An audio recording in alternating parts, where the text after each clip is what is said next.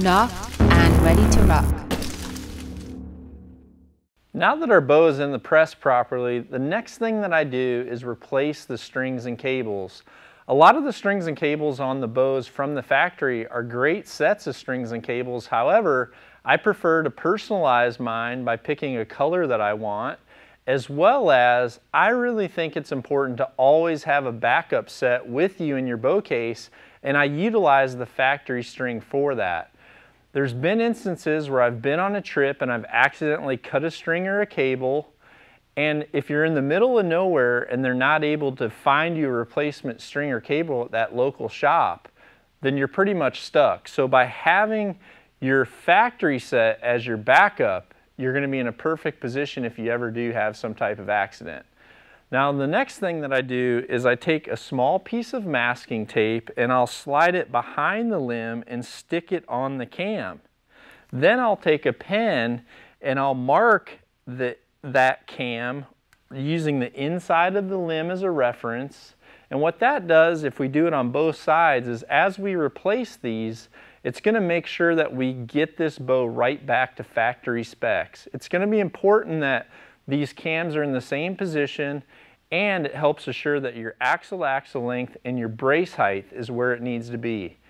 I prefer Winner's Choice strings and cables. I've used them for many years and I like the fact that they don't have any issues with coming out of synchronization because of stretch and my peep sight always stays in the same place from when the bow's at rest all the way to full draw. That's going to be critical things that you look for when buying a new set of strings and cables. Now we're going to do one at a time. We're going to start with the string, then we're going to move on to the cables. The main thing when you replace these is you want to make sure that you properly hook it on the post of the cam and you want to actually follow it in the same path all the way around the cam and before you let it up in the press go ahead and double check using your finger to make sure that that string is properly in the track all the way around and completely hooked on the post. Then I like to hold a little tension on the string as I let that press out. That way we make sure that the strings and the cables are in the proper track. All right, now my marks are right where they need to be, which is an indication that this string was at the perfect length. What you need to do when you take your old ones off is simply hook your two loops together because you don't ever want to remove twists out of your strings or cables if possible because again, these are at the right lengths and that's the same case for your brand new ones out of the package. Make sure that you don't let those twists off. So now that we've got the string where we need to be, the next thing we're going to do is go ahead and replace the cables.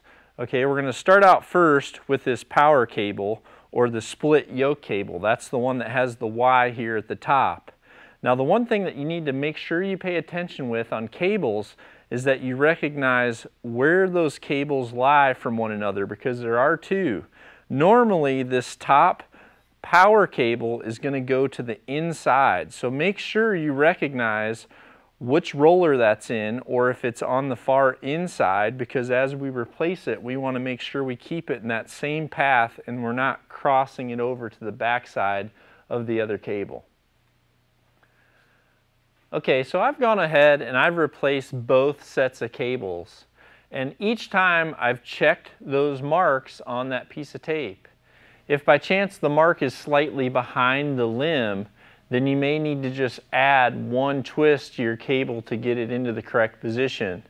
As long as both of these are close for now, then we're going to be perfect because in the next segment, I'm going to walk you through the minor adjustments that we need to make on these strings and cables to make sure that your cam position and your cam lean is perfect.